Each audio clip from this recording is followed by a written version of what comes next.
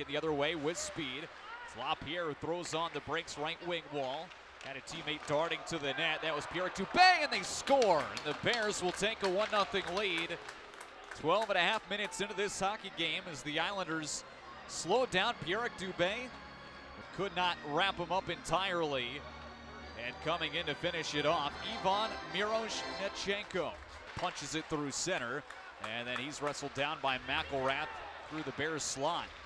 Hershey gets it out. Snively ahead, has his step, cross eyes, pass a shot, and it's into the back of the net. The Bears have doubled their lead. It's 2 0. Snively raced ahead, but rather than driving the net on his own, he sent it across to Alex Limoges, and the Bears have a 2 0 lead in the opening three minutes of the second. On the replay iPad during a stoppage to see if that one went in. Here's Maggio back in left side, he scores!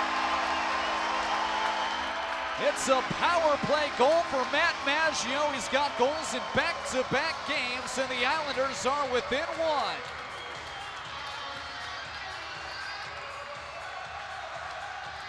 Well, Matt Maggio's first pro goal came yesterday, and now you wonder how quickly they'll come consecutively. Matt Maggio had said it was so hard to score at this level.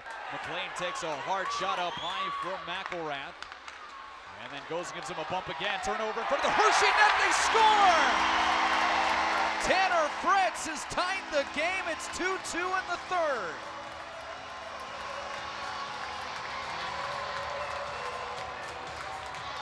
Well, the Bears coughed it up right in front of their net. And it was Dufour who touched it to Fritz. Welcome back to Bridgeport, Tanner Fritz. In game 201 with this organization, he scores his 137 points. First goal of the season for Tanner Fritz, and William Dufour is going to get his first point with an assist. And he'll propel it over the center ice logo, in over the Bridgeport line. And then Swoyer taps it back to Mike Sgarbossa. Curls above the circle, oh, and it leaked through Skarek and in with 128 left. An unassuming shot from above the left circle finds the back of the net. Hershey wins in overtime. 3-2 is your final. We'll take a break and have the post-game show after this. Hershey in OT gets it done, but the Islanders do get a point. And the Islanders are now 2-2 and 1. Five points in five games on the year. Islanders hockey is brought to you by Yale New Haven Health.